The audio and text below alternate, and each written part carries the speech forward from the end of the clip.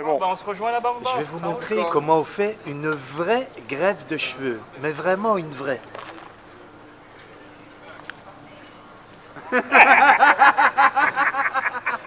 15 jours après, le résultat sera concluant.